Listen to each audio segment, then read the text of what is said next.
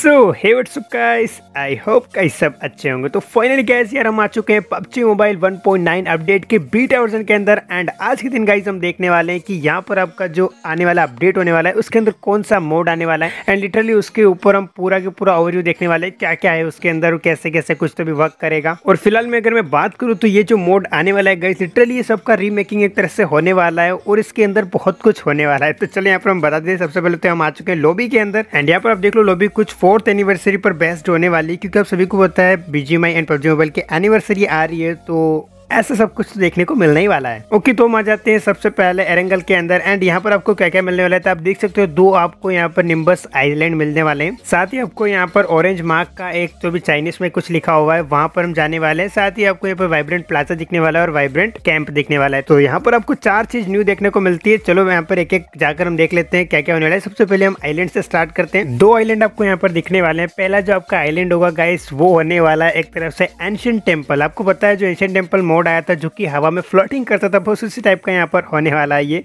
उसका बस थोड़ा सा मॉडिफाई किया है, बाकी एज इट इज़ पुराना जैसे आपको देखने को मिलेगा ये वाला आइलैंड साथ ही दूसरे आइलैंड की भी बात करेंगे बट यहाँ पर चलो इसका एक बार ओवरव्यू देख लेते हैं किस तरीके से होने वाला है क्या क्या इसके अंदर आपको नया नया देखने को मिलने वाला है। देखा जाए ना गाइस तो बिल्कुल आपको सेम वही चीज़ आपको देखने को मिलेगी जो आपका मतलब एंशियंट टेंपल था। बस इसमें थोड़ा सा चेंजेस कर दिए गए, अब इसके अंदर कोई मम्मी वगैरह नहीं होने वाला है अंदर। बिल्कुल नॉर्मली लूट वगैरह होने वाला है। साथ ही यहाँ पर ना अब एक नया सिस्टम हो जाएगा। अभी मेरे हेड पर आपको यहाँ पर ऑरेंज कलर का एक बॉल दिख रहा होगा तो इसी टाइप से ना हर किसी को असाइन किया जाएगा और सबके ना अलग अलग बॉल होंगे। डिफरेंट कलर वाले को आपको किल करना एक ही बात है इसके अंदर। और चाहो तो आप यहाँ पर आपका बॉल का कलर भी चेंज कर सकते हो। यहाँ पर आपको ऑप्शन दिख जाएगा सेंटर में जिससे आप यहाँ पर आपका बॉल का कलर चेंज कर सकते हो। बाकी की लूट एज नॉर्मल है और यहाँ पर आपको कोइन कुछ नए तरीके से देखने को मिल जाएँगे। यानी कि यहाँ पर आपको कलेक्ट नहीं करना पड़ेगा, बस उनको टच करो तो ऑटोमेटिकली वो आपके बैकपैक के अंदर चले जाएँगे। और आपको यहाँ पर रिडीम शॉप भी देखने को मिल जाता है। कुछ नहीं करना है सिंपल सा आपके साथ में ही रहेगा रिडीम शॉप जो चाहे आप उससे निकाल सकते हो। बाकी का एरिया तो मुझे एज प्रॉपरली वैसा ही लगा जैसा एंशियन टेंपल के अंदर था और यहाँ पर कुछ तो भी लूट वगैरह हुआ करता था। और यहाँ पर अगर आप देखते हो ना तो काफ़ी सारी वॉल पर आपको एकदम एंशियन टेंपल का एक सूट का आपको यहाँ पर दिखता है इमेज वगैरह। तो बस मैं बोल रहा हूँ ना, वो सेम चीज़ें। बाकी तो आपने एंशियन टेंपल को बहुत पहले ही देख रखा है, अच्छे से सेम ऐसा ये भी दिखने वाला है। बस थोड़े से चेंजेस है, बाकी आपको बस अच्छे से याद करवा रहा है कि भाई एंशियन टेंपल नाम की भी कोई चीज़ थी पहले। अब चलते हैं हमारे दूसरे आइलैंड के ऊपर, वो कैसा दिखने वाला है। तो अब सभी ने यार विंटर मोड तो खेला ही होगा, बस वो भी कुछ इसी टाइप का दिखने वाला है। थोड़े से उसके अंदर चेंजेस होंगे, बाकी एज प्रॉपरली वो भी ऐसा ही दिखने वाला है। तो चलो वहाँ भी चल लेते हैं एक बारी। इस आइलैंड के अंदर भी आपको असाइन कर दिया जाएगा, कोई से भी बॉल के साथ एंड अपोनेंट को आपको किल करना है। तो अब यहाँ पर देख लो ना, बिल्कुल सेम आपको दिख रहा होगा जैसा पहले आपको विंटर मोड देखने को मिला था। और आपको याद होगा, इस तरीके की कोई बॉल थी जिसको हम फेंकते थे तो ये कुछ तो भी ऐसा बन जाता था। एंड बाकी वही आपको कॉइन वगैरह दिखते हैं, जैसे ही आप इनको टच करोगे तो आपके अंदर चले जाएँगे रिडीम सेक्शन के अंदर और वहाँ से आप कुछ तो भी निकाल सकते हो। बाकी तो पूरा के पूरा वही है, कुछ चेंजेस नहीं है, बस इसके अंदर हल्की फुल्की नई चीज़ें ऐड कर दी है। तो यहाँ पर दोनों आइलैंड आपको एक तरह से पुराने ही देखने को मिले हैं। विंटर मोड आया था, जिसमें यहाँ पर इसको आइलैंड यानी कि फ्लटिंग एरिया में रख दिया ऊपर की साइड पर। और उधर एंशियन टेंपल को तो उड़ाते ही रह रहे हैं मतलब की नीचे आएगा ही नहीं हो पहली बात। और यहाँ पे कलर वगैरह चेंजिंग कर सकते हो जंपिंग एरिया आपको देखने को मिल जाता है। सब कुछ एज इट इज़ पुराने जैसे ही आपको दिखने वाला है। तो अब यहाँ पर आइलैंड की बात हो गई, अब हम आते हैं नीचे। मतलब ग्राउंड फ्लोर पर आपको क्या मिलने वाला है? यानी कि एरेंगल के अंदर क्या क्या चेंजेस है, वो देख लेते हैं और सबसे इंटरेस्टिंग बात ये की गई इस मोड के अंदर आपको तीन लाइफ मिलने वाली है। सबसे पहले आप अगर इस निम्बस आइसलैंड पर जंप लेंगे तो आपको यहाँ पर एक लाइफ मिलेगा। अगर यहाँ से आप हार जाते हैं तो दूसरा आपको सीधा एरेंगल के अंदर जंप करवा देंगे और वहाँ पर अगर आप किल हो जाते हैं तो आपके फ्रेंड आपको रिकॉइल करके वापस से बुला भी सकते हैं। यानी कि टोटल आपकी कितनी लाइफ हो गई? थ्री लाइफ ओके तो अब आ जाते हैं गाइस हम एरेंगल के अंदर। हम सबसे पहले ऑरेंज मार्क के ऊपर जाएँगे। वहाँ पर क्या था एक्चुअल में? तो गाइस इसके अंदर आपको एक रिडार सिस्टम देखने को मिलता है। इसके पास में आप जैसे जाओगे तो एक्टिवेट का ऑप्शन आएगा और जैसे आप कर दोगे तो ये स्कैन करने लग जाएगा। अपने आसपास के एरिया को। और स्कैन करके आपको ये बताएगा कि आपके आसपास में जितने भी व्हीकल है, वो आपको हाईलाइट करके देगा आपके मैप के अंदर। अभी देख लो, मैंने एक्टिवेट किया। देखो, यहाँ पर बता रहा है कि हमारे साइड में बिल्कुल हमें एक बोर्ड दिख रहा है पानी के अंदर। देख लो गाइस वो हमें दिख रही है और साथ ही हमारे आसपास के एरिया में जितने भी व्हीकल है, सब आपको हाईलाइट करके शो करके बता देगा। तो बस ये इसी तरीके से काम करने वाला ये ऑरेंज मार्क अब चलते हैं गाइस वाइब्रेंट कैंप के ऊपर, यानी कि वहाँ पर आपको क्या क्या देखने को मिलने वाला है। मैप के अंदर बहुत जगह आपको वाइब्रेंट कैंप के प्लेस देखने को मिल जाती है। बस सिंपल सा अगर आप यहाँ पर आओगे ना तो आपको नॉर्मल लूट देखने को मिल जाएगी। यानी कि एक एरिया आपको छोटा सा मिल जाएगा फोर्थ एनिवर्सरी पर बेस्ड और वहीं पर आपको छोटी मोटी लूट मिल जाएगी। और साथ में यहाँ पर एक अंदर एक बहुत ही अच्छा डिस्प्ले सिस्टम आपको देखने को मिलेगा। आप जैसे इसे एक्टिवेट करोगे तो यहाँ पर आपको कुछ तो भी एनिमेशन देखने को मिलेगा इस डिस्प्ले के अंदर। और जैसे ये कंप्लीट होगा तो आपको एक बॉक्स बाहर निकाल के दे देगा। अब एक ही बार निकालने वाला बार बार ट्राई करोगे तो नहीं आने वाला है। फाइनली इस मोड का अब एक लास्ट एरिया बचा है, जो की वाइब्रेंट प्लाजा है। और मैं आपको बता दू, वो सिर्फ़ दो जगह पर आपको दिखने वाला है। पहला स्टेलबर में आपको देखने को मिलेगा, दूसरा क्वारी में देखने को मिल जाएगा। इन दो प्लेस के अलावा वो कहीं पर नहीं दिखने वाला। तो हम स्टेल पर जा रहे हैं। देखो, दोनों में सेम चीज़ें हैं। आप चाहे क्वारी जाओ या स्टेल पर जाओ, दोनों में एक जैसी चीज़ें आपको मिलने वाली है। कुछ भी अलग नहीं होने वाला है। तो यहाँ पर हम स्टेल पर चले जाते हैं और वहाँ पर क्या क्या मिलने वाला है? मैं ऑलरेडी यार उसके ऊपर वीडियो बना चुका हूँ कल के दिन। जब दोस्तों, बात कर रहा हूँ। बाइसिकल के बारे में, यानी माउंटेन बाइक आपको पर मिलने वाला है, जिसको इंट्रोड्यूस किया गया है और बस सेम चीज़ें as it is vibrant cam जैसा ही आपको मिलने वाला है। इसके अंदर बस एक ही खास बात है की यहाँ पर आपको माउंटेन बाइक मिल जाती है। और इस माउंटेन बाइक का तो अलग ही सीन है भाई। मतलब की यहाँ पर इसके अंदर कोई फ्यूल वगैरह नहीं लगता है, जितना चाहे उतना भगाओ इसे। और दूसरा कि आप इसे अपने बैकपैक में भी रख सकते हो। और जब चाहे बैकपैक से बाहर निकल लो, जब चाहे बैकपैक के अंदर रख लो, कहीं भी ले जाके घूम सकते हो इसे एज नॉर्मल और इसकी स्पीड भी काफ़ी अच्छी है बूस्ट भी है इसके अंदर, साथ ही इसके अंदर बैल वगैरह भी है। चाहो तो इसको आप जंप भी करवा सकते हो, और ये हाई लेवल तक भी जंप कर सकती है। यानी कि इसके जंप वाले बटन को दबाई रखो तो ये बहुत ज़्यादा जंप करेगी, और एक बार दबाओगे तो ये फ्लिप मारने की कोशिश करेगी। बाकी तो एज यूजल यहाँ पर भी आपको लूट वगैरह मिलेगी, और यहाँ पर आपको वीडियो डिस्प्ले वाला सिस्टम भी मिल जाएगा, और माउंटेन बाइक तो आपको बहुत जगह मिलेगी। बस ऐसे फोल्ड वाली मिल जाएगी, डायरेक्ट खुली हुई मिल जाएगी।